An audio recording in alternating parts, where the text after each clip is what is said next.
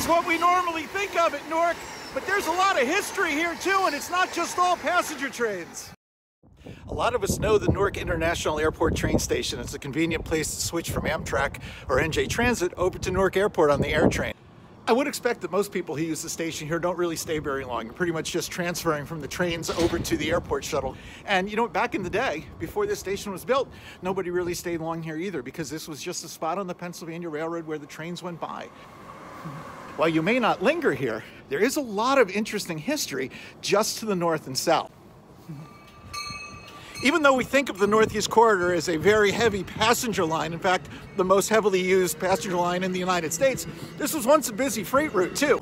To the uh, immediate south was a very important junction called Lane Interlocking.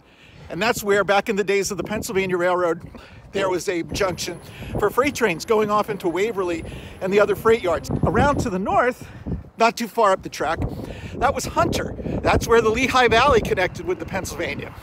These were mostly freight connections. But today, it's almost all passenger.